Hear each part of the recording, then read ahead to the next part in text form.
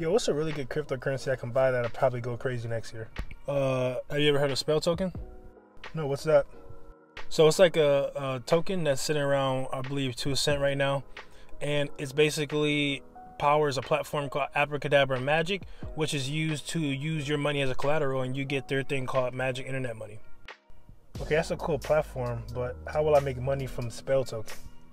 Because Spell Token has a really good use case, and stuff like that leads cryptos to blow up. That's sick. You think I'll be able to buy it off Coinbase? Yeah, it's on Coinbase. All right, how much do you think it's gonna hit next year? People saying it's gonna hit a dollar next year, which is crazy, but I don't know. We have to see. All right, cool, man. Thank you.